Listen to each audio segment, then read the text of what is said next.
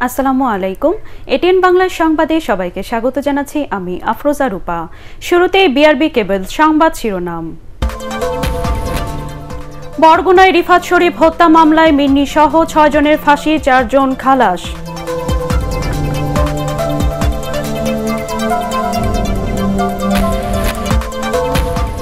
সিলেটে এমসি কলেজের ছাত্রাবাসে ধর্ষণের ঘটনায় আট আসামির মধ্যে সাতজনকে রিমান্ড দিয়েছে আদালত।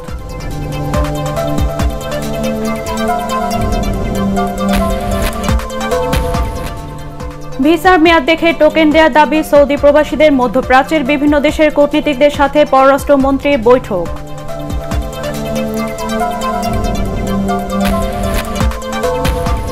এবং হাবিব হাসানকে ঢাকা আঠারো ও সিরাজগঞ্জ এক আসনে তানভীর শাকিল জয়কে মনোনয়ন দিল আওয়ামী লীগ।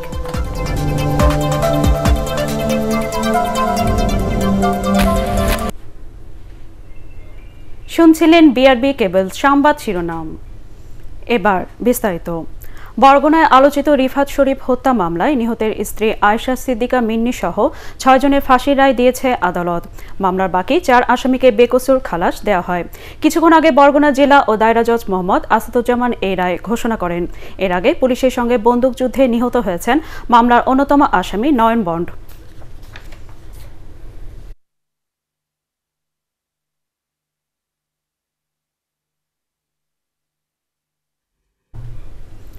দর্শক বরগুনায় রয়েছেন আমাদের জেলা প্রতিনিধি মোস্তফা কাদের। আমরা এখন কথা বলছি তার সাথে।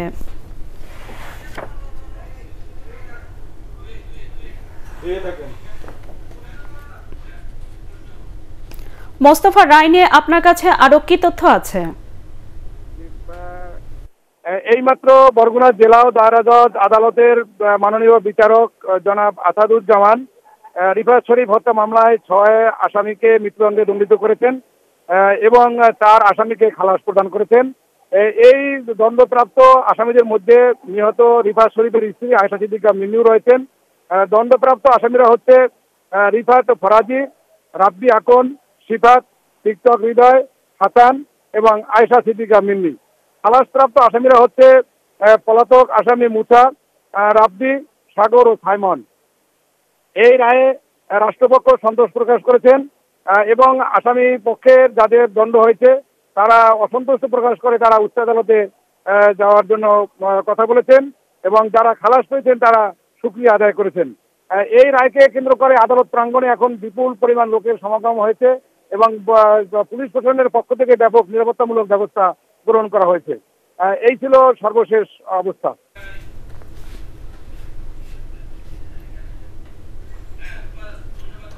মোস্তফা আপনাকে ধন্যবাদ। সিলেটে সিলেটে এমসি কলেজের ছাত্রাবাসে নববধূ ধর্ষণের মামলায় গ্রেফতারকৃত এজাহারভুক্ত ও অজ্ঞাত আট আসামির মধ্যে সাতজনকে রিমান্ড দিয়েছে আদালত। মামলা ছয় নম্বর আসামি মাহফুজকে আজ সিলেটের চিফ মেট্রোপলিটন আদালতে তোলা হলে মামলা তদন্তকারী কর্মকর্তা সাত দিনের রিমান্ড চাইলে আদালত পাঁচ দিনের রিমান্ড মঞ্জুর করে। এজাহারভুক্ত বাকি আসামি তারেককে মঙ্গলবার রাতে সুনামগঞ্জ থেকে গ্রেফতার করা হলেও এখনও পর্যন্ত আদালতে তোলা হয়নি। গত পঁচিশ সেপ্টেম্বর রাতে এমসি কলেজের হোস্টেলের স্বামীকে বেঁধে নববধূকে ধর্ষণ করেন গ্রেফতারকৃতরা। এ ঘটনায় ছাব্বিশ সেপ্টেম্বর তার স্বামী শাহপরান থানায় ছয় জনের নাম উল্লেখ এবং অজ্ঞাত দুই তিনজনকে আসামি করে মামলা দায়ের করেন। পরদিন মামলার প্রধান আসামি সাইফুর রহমান প্রথম ধরা পড়েন। এরপর সিলেট ও হবিগঞ্জের বিভিন্ন এলাকা থেকে অন্য আসামিদের গ্রেফতার করা হয়।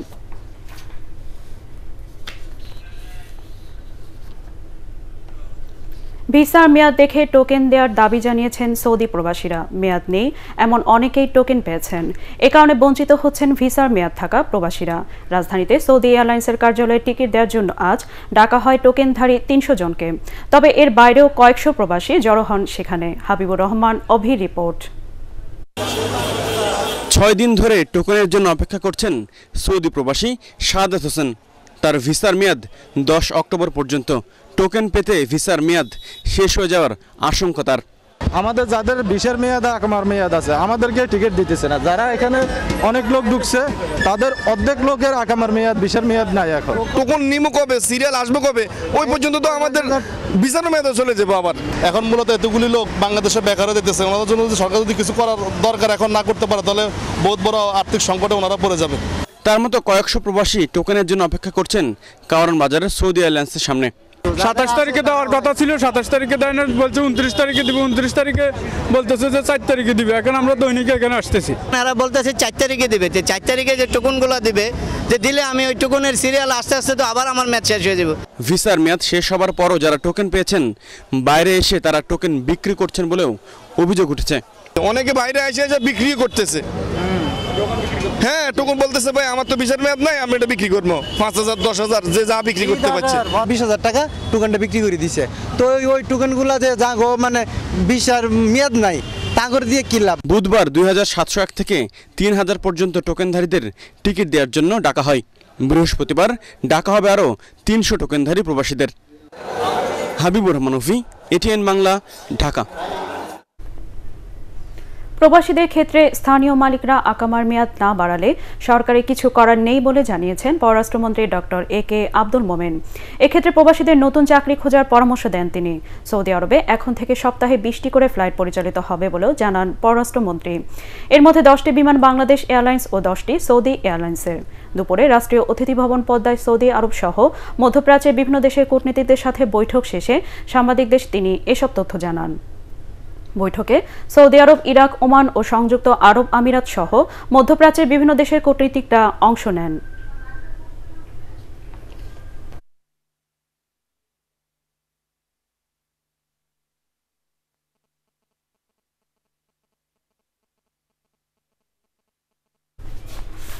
আওয়ামী লীগের মনোনয়ন বোর্ডের সিদ্ধান্ত মোতাবেক ঢাকা আঠারো ও সিরাজগঞ্জ এক আসনের উপনির্বাচনে প্রার্থীদের নাম ঘোষণা করেছেন দলটির সাধারণ সম্পাদক ওবায়দুল কাদের।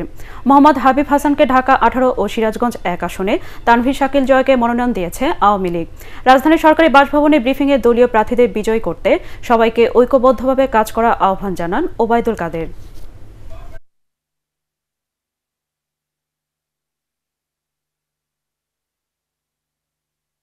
যেহেতু নির্বাচন কমিশন শিডিউল ঘোষণা করেছে, এখন আর আমাদের প্রার্থীতা ঘোষণা কোনো প্রকার অসুবিধা নেই।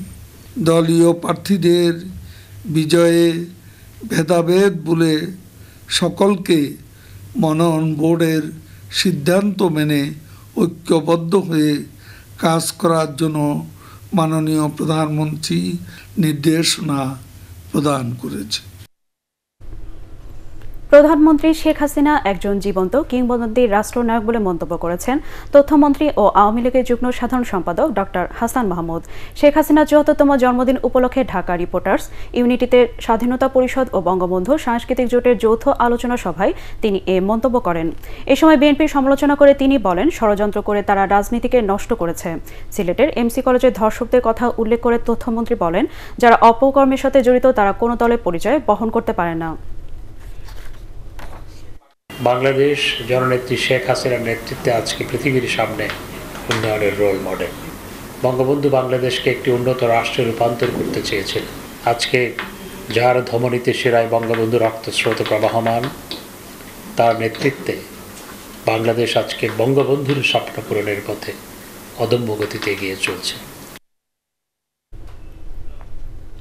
জাতীয় সংসদ অধিবেশনে কোরাম সংকটে বছরে প্রায় বাইশ কোটি টাকার ক্ষতি হয়েছে বলে জানিয়েছে ট্রান্সপারেন্সি ইন্টারন্যাশনাল বাংলাদেশ টিআইবি রাজধানীতে একাদশ জাতীয় সংসদের পাঁচটি অধিবেশনের উপর অনলাইনে গবেষণা প্রকাশ অনুষ্ঠানে বক্তারা বলেন, প্রতিটি কার্যদিবসে গড়ে উনিশ মিনিট কোরাম সংকট হয়েছে।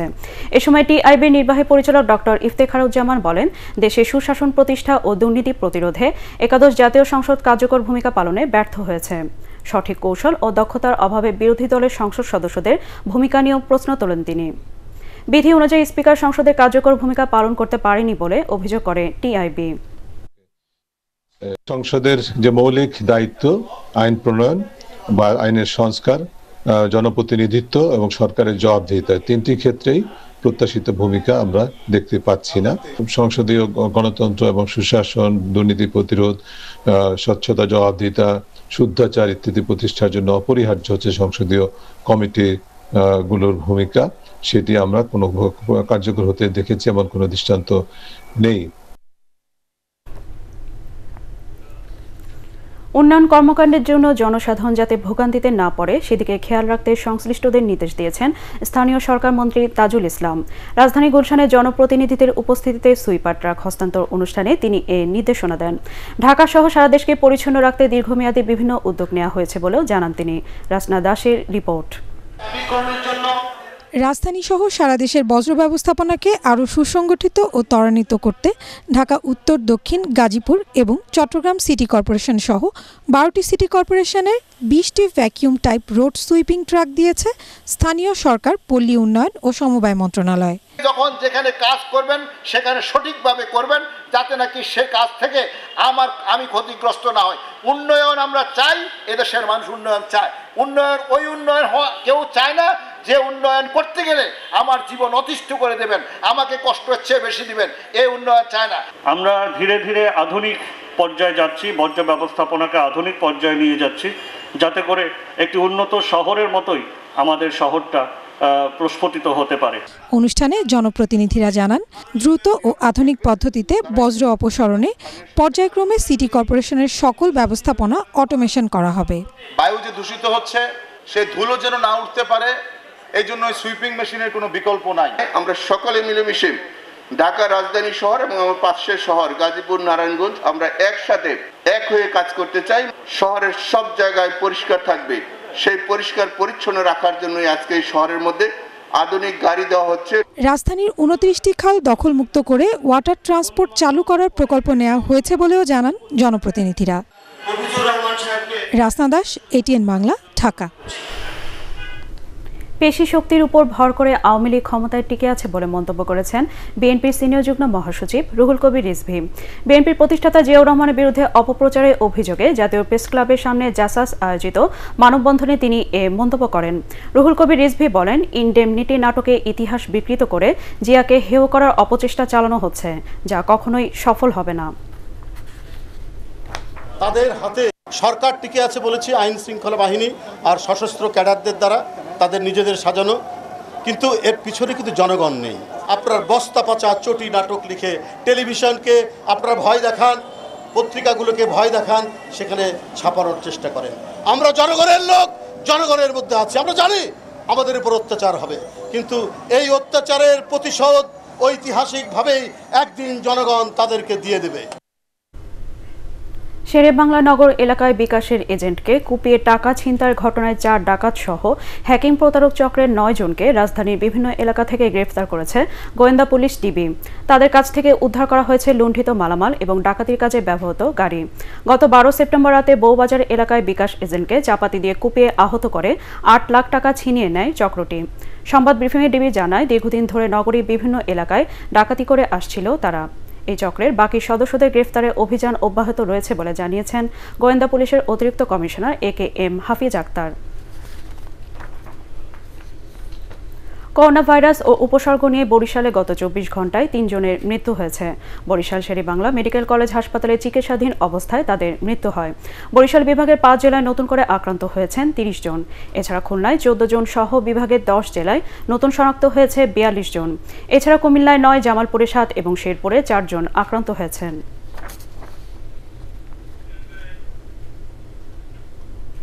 এবার জানাব শেয়ার বাজারে খবর।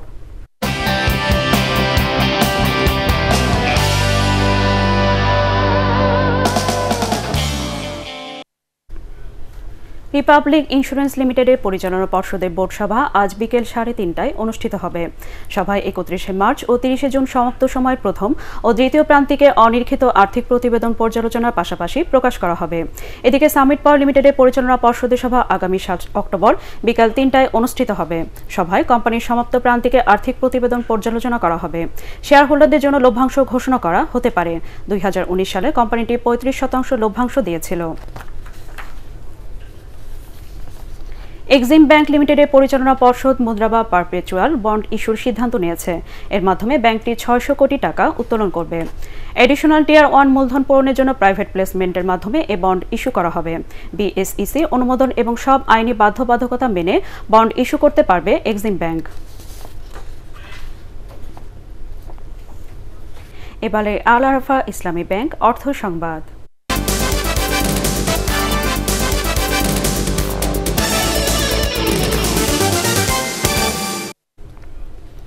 রপ্তানি পণ্যের শুল্কায়নের নতুন পদ্ধতি আরোপ করেছে চট্টগ্রাম কাস্টম হাউস।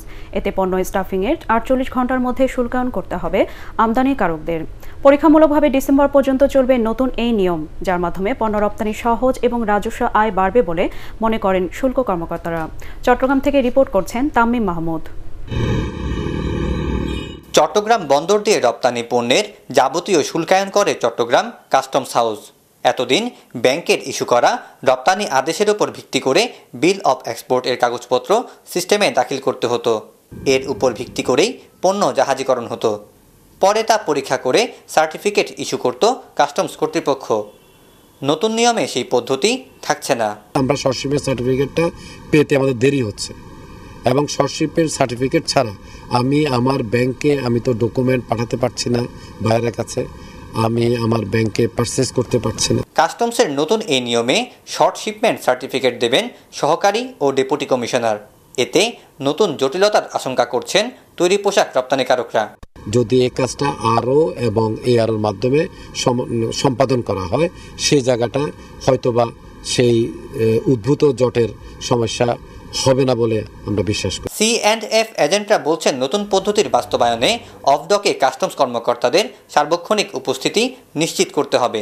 রপ্তানির গাড়ি আসে ডিপোতে অনেক রাতে রাত নটাও হতে পারে সেটা রাত দুটোও হতে পারে। তো সেই সময়ে যদি ওখানে কাস্টমস কর্মকর্তা উপস্থিত না থাকেন এবং শুল্কায়নকারী এবং পরীক্ষাকারী কর্মকর্তা যদি সেখানে উপস্থিত না থাকেন তাহলে রপ্তানিতে বিলম্ব হতে পারে। তবে নতুন এই নিয়মে পণ্য রপ্তানি আগের চেয়ে সহজ হবে বলে জানান বন্দরের শীর্ষ কাস্টমস কর্মকর্তা। প্রত্যেককে যার যার অবস্থান থেকে এই কাজগুলো খুব সেন্সিয়ারলি করতে হবে।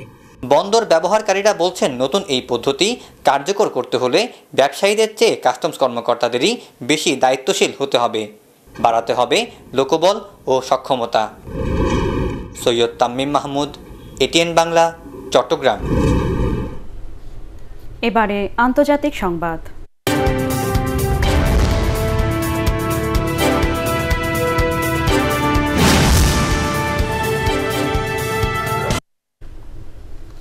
যুক্তরাষ্ট্রের প্রেসিডেন্ট নির্বাচনকে সামনে রেখে শুরু হয়েছে প্রতিদ্বন্দ্বী দুই প্রার্থীর বিতর্ক। মঙ্গলবার রাতে প্রথম দফা বিতর্কে বেশ আক্রমণাত্মক ছিলেন ডোনাল্ড ট্রাম্প ও জো বাইডেন। এ সময় তাদের ব্যক্তিগত বিষয় নিয়েও বিতর্কে ঝড় তোলেন রিপাবলিকান ও ডেমোক্র্যাট প্রার্থীরা। বিতর্কে করোনা ভাইরাস দেশের স্বাস্থ্য ব্যবস্থা যুক্তরাষ্ট্রের অর্থনীতি ও ক্ষমতায় গেলে তাদের পরিকল্পনা কি হবে সে বিষয়ে কথা বলেন তারা। এবারে পার্টেক্স খেলার খবর।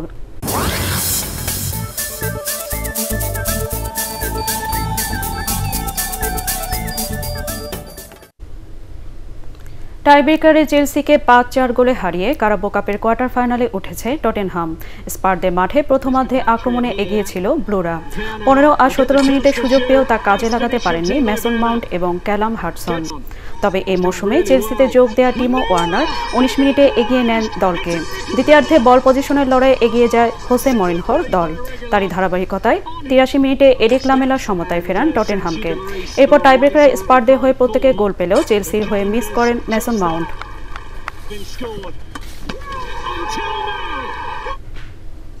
শেষ করা আগে বিআরবি কেবলস সংবাদ শিরোনাম আরেকবার।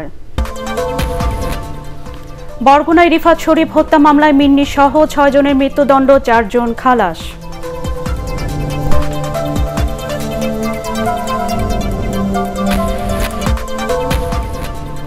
সিলেটে এমসি কলেজে ছাত্রাবাসের ধর্ষণের ঘটনায় আট আসামির মধ্যে সাতজনকে রিমান্ড দিয়েছে আদালত।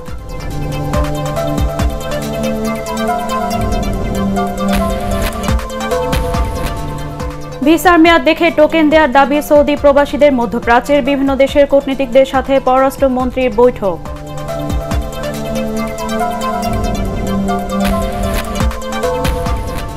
এবং হাবিব হাসানকে ঢাকা আঠারো ও সিরাজগঞ্জ এক আসনে তানভীর শাকিল জয়কে মনোনয়ন দিল আওয়ামী লীগ।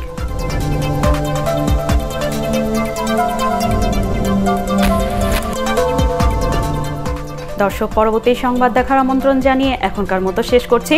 করোনা ভাইরাস থেকে নিজেকে সুরক্ষিত রাখতে মাস্ক পরুন বারবার, হাত পরিষ্কার করুন।